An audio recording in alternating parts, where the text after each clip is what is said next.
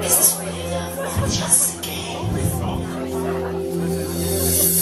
I feel the night explode when we're